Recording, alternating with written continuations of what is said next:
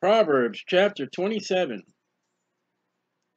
Boast not thyself of tomorrow, for thou knowest not what a day may bring forth. And James says we ought to say, Lord willing. We don't know what's going to happen tomorrow. We don't know what's going to happen later. And when I preach Saturday mornings at the farmer's market, you're not even guaranteed Saturday afternoon. Now, it's not to ever not make plans, but don't, oh, you know, tomorrow, you, you don't know. And it's not always guaranteed. Well, death, a disease may get you, tragedy will get you. It's amazing what one phone call will do. Let another man praise thee, and not thy own mouth. A stranger, not thine own lips. If there's any praise, let it not be from you. Let it not be me, myself, and I. And then let not your praise be to conjure other people to lift you up. That's not right. That's not the ways. In other words, boasting, pride, how great I am. And for a couple more days, I can talk about politics, and that's what the politicians do. They boast about themselves. It's the other guy's fault, but me, I've got all the answers. And then you're going to vote for that guy who is honoring himself when the Bible says you're not to.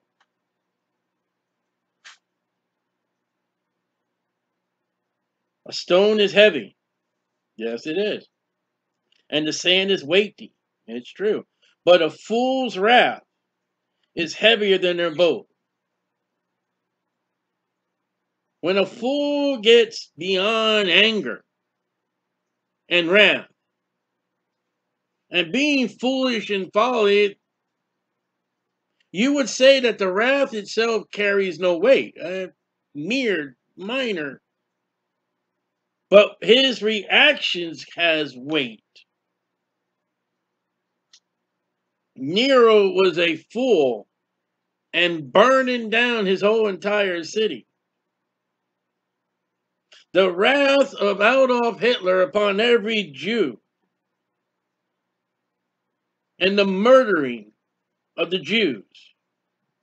The foolish Adolf Hitler and his wrath for the hatred for the Jewish people. Man, the consequences do you realize all the people that were condemned to hell because of that fool? The unsaved Jews, millions, if not billions. All the people that were involved in the Nazi party, Bible said, if you curse the Jew, I will curse you. And then wrath is cruel. you come right into verse 3, right into verse 4. Wrath is cruel. Anger is outrageous. Bible says, be angry, but sin not. But who is able to stand before envy? The, the, the thoughts and the feelings that I didn't get what I thought I deserved. They got credit for what And then the actions of the envy does not have to be physical. It could be in all the thoughts of the person with envy. An open rebuke is better than secret love. Somebody comes up to you, uh, preaching, or personally one on one, and before you tells you of your errors, of your sin, of your ways, is much better than somebody they just love you and they're not going to say nothing and they're going to let their love stray and I won't tell them. Sometimes the rebuke is healthy and wise. Faithful are the wounds of a friend, and Usually, if you've been wounded by a friend, it's accidental. It's in jest. It's it was not meant to be. It happened. Probably giggled it off a little after after a while. you know, your friend comes along and he accidentally pokes you in the eye. Ah, yeah, really. Okay, you know, he didn't mean it. It's not a practical joke, as we saw in verse 26 and 19. It's just, you know, this friendship, they're just fooling around to something. Wow, that hurt. But the kisses of the enemy are deceitful, and that's Judas.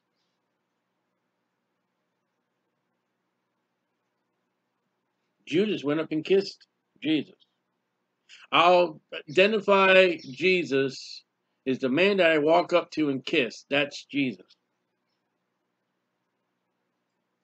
Judas received, I mean, uh, uh, Absalom received kisses from the people, and he was an enemy of David. the soul, the full soul loatheth, hateth a honeycomb. Honey shows up 52 times in the Old Testament verse and four times in the New Testament. Honeycomb shows up eight verses in the Old Testament and one verse in the New Testament. But the hungry soul, every bitter thing is sweet. That, that, hungry, that full soul, uh, honey, uh, come on, give me something. Uh, no. I can go for some chocolate cake. I can go for some pudding, go for a pizza. Honey. But the man that is hungry, he'll eat anything that's healthy. I'm reading stories about the Revolutionary War uh, uh, and the Civil War. Uh, last night I read the rations of the food of the soldiers were just scarce. The Civil War. And he's right, and he said, I forget now, I think not blueberries. It was a, was a kind of berry. He says, man, he said, I just devoured those things. They were big and fat and chunky. He said, man, those things are great. He said, he said, we camped one time amongst a cornfield. And, you know, we would pick the ears. And we didn't have butter or anything. And we would put the ears, they said he wrapped it in mud or, or something I forget what else he said. He said we just put it in the fire until all the husk and everything burnt away, and then we oh, it's just delicious. There are people I've heard from a missionary in Ethiopia, and they eat grass. What people in Florida pay people to cut and, and tend to and take care of. In Ethiopia, they eat what Americans spend money to take care of grass. That's their only food. As a bird that wandereth from her nest. And I'm going to assume that it'd be a mother bird or even a baby bird. That's not to be so. As a matter of fact, the law states if you're to find a bird and her eggs or her chicks on the ground, and then you're to pick it up and put it back. And I forget if it said you can take the eggs. I think you say you can take the eggs and leave the mother. I think that's what the law is. So is a man that wandereth from his place. A husband father need not to be at the bowling unless he's bowling with his his wife and his children. Now he has a place to go work. That's right. If a man wanders off into another bedroom with another woman, or a man with another, a, a woman with another man, that, that's not natural. It's not right. A woman that wanders away from her husband or children for whatever night she wants to have.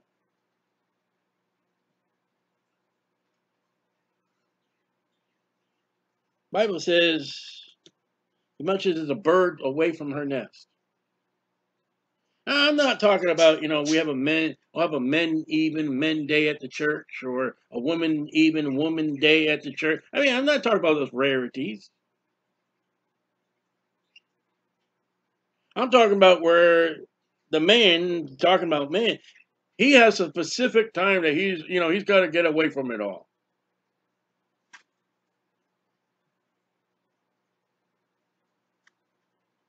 and it, it, it's a routine. It's not, uh, you know, I'm gonna go. I'm on a trip. I'm gonna go. You know, a thing that you know, whatever it is, just you know, occasionally.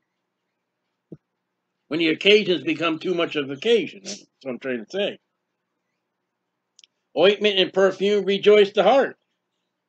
So does the sweetness of a man's friend by the hearty counsel and a friend could be good. And a good friendship can be good for your heart and for your soul. Thine own friend and thy father's friend forsake not. Neither, well, let's, thy own friend and thy father's friend forsake not. Now, look at verse 11 real, real quick. My son, Solomon writing to Rehoboam. Now let's take our Bibles to 1 Kings chapter 12.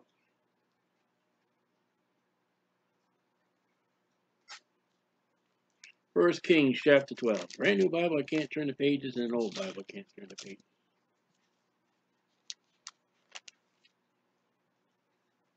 Let's take what we just learned and what Rehoboam does not learn.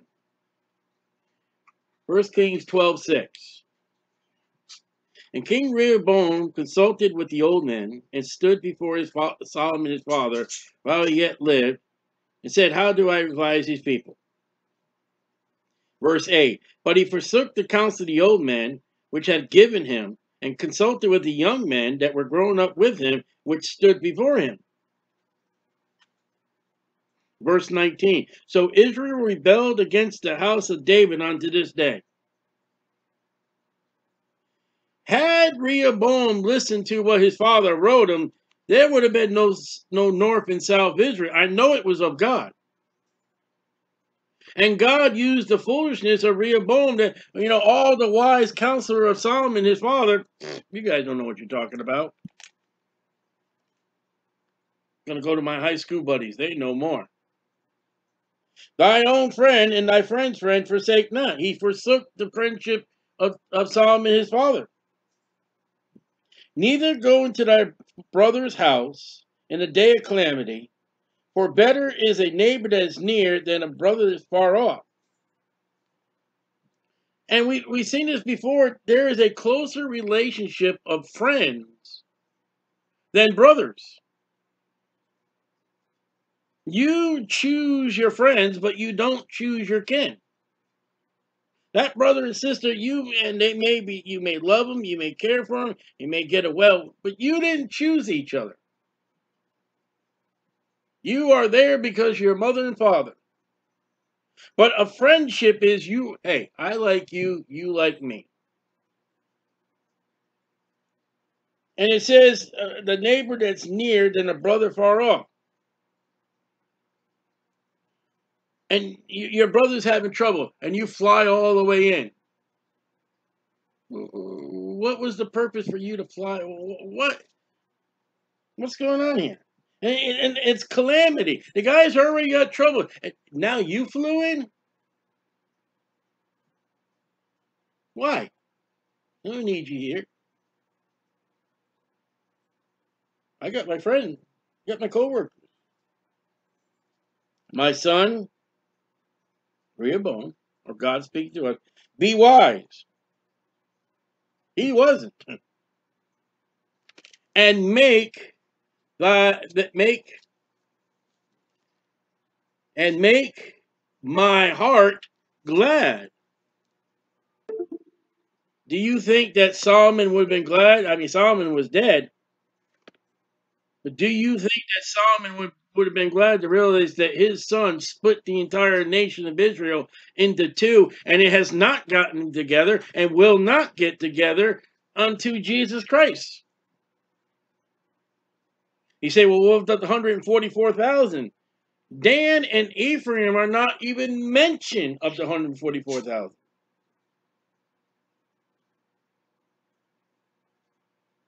And the father saying to his son, Make my heart glad. And how do you make the heart glad? We've already seen a, a, wise son, his mother and father, and then a foolish son with his father and mother. We've seen the relationship. I may answer him that reproaches me.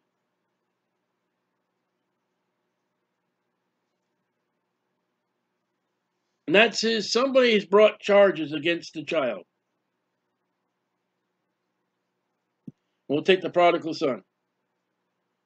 Guy comes in, hey, I, I heard your son was, you know, heard he left, heard he took all his money. I, I heard he's living at the pig, the pigsty. Yeah, but he's home now. And he, man, he, that guy, he repented, he got right, and he wanted to be one of my servants. You believe that? That punk, my son, he got right. Man, I love I love him more because his brother got all upset. But man, you know what? I, I got him the best robe. I put shoes on his feet. We had a gala of a celebration. And yeah, he was down in the pigsty. Yeah, he did, but he learned. And he got right. And I'm pleased to have him home. Now, what could the father have said about the prodigal son before he came home? I heard your son left. Yeah, I don't know what's going on. Kid thinks he knows everything. A prudent man foreseeth evil. That's prudence. I'll give you a great example. That there's no hardly any prudence today in the world, at least in America, at least in Florida. A prudent man would not just step out in traffic where there could be cars. That's not prudence. Prudence was not the man going down the road the other day in his bike in the middle of the road. That's not prudence. Prudence was not the man that went around three cars today to get in the left hand lane and shoot across oncoming traffic so he can go wherever he's going stupidly quickly. That's not prudence. Prudence is not, I mean, okay, you may run that yellow and change the red. Okay, that's accidental. Prudence is not running through the red light. Hmm.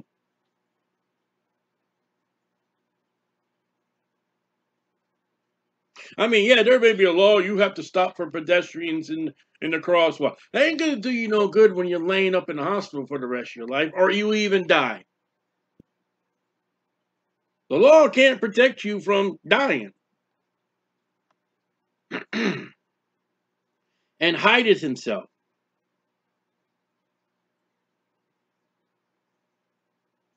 When Proverbs chapter one, come, let's go murder someone and and let's go steal his stuff, uh, and you get out of there, and you uh, get away from him. But the simple, okay, here's here's the here's the definition. Simple, they pass on and are punished. The pun, the simple, he gets hit by the car. The simple, he gets arrested. The simple, he gets. I I, I watch this program, Parking Wars, and and people, they park under a sign that says you can't park there, or you can only park there a certain amount of time, and they don't, and they get all upset because they got a ticket Prudence would say, go to a parking garage, find another spot. The simple idiot parks there and then tries to fight. The parking ticket much deserved. He's so simple, and it's. I love the program when, when you know they're fighting with the person and the and the the, the traffic ticket. Right, he just said, no parking, no standing, bus no, no parking after four p.m. And then you look at the person holding the ticket angry. No prudence. Guys, simple. And we're not talking about maybe, you know, the parking meter was, was broken. Yes, truly broken. I was only going to run for a minute. That's why I didn't put no coins in it. That's why if you put one coin, it gives you a few minutes. Take his garment that is surety for a stranger, and take a pledge of him for a strange woman. Now the law forbidded a Jew to apply interest rates. And a Jew was to trust a Jew. But if there was a business, if there was a and you needed collateral, and that's what it is talking about. If it's a stranger, somebody you don't know, a Gentile, take some collateral. Well, let me have your driver's license. Let me have, uh, you know, your whatever value you have, and I'll give it back to you when you pay it back. And remember, too, sometimes friendship could be strange. I've got many people in my life who've been my friends. And they're not there behind me anymore. They're gone. He that blesses his friend with a loud voice rises early in the morning. It shall be counted for a curse to him. And, you know, it's, I'm his friend. Me and David were just best pals. Dave and I just passed by. And it's like, shut up. What are you doing? It doesn't need to be, you know, it, it will figure itself out. It's a man with a big mouth for big, stupid reasons. And then again, what we've already read, if you want to be friendship, let him proclaim the friendship, not you.